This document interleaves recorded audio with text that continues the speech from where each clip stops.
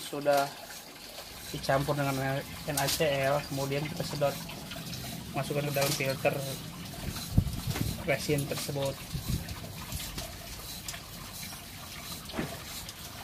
Sampai setengah dari drum ini lah nah, udah isi kita posisi brand fill.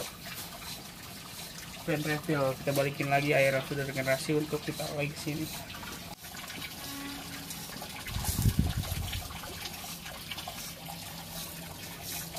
favoritnya habis.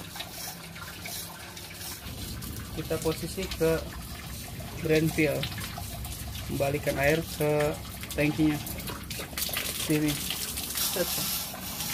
Nah dia ngisi dulu nih. Buang air yang udah.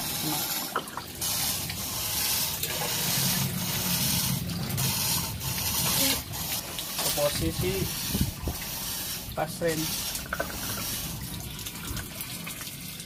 buang kotoran. 10 menit kita posisi range asinnya setelah sudah hilang baru posisi filter setelah udah diregenerasi resin masuk melew melewati tabung kuning ini tabung oksi yaitu kaporit.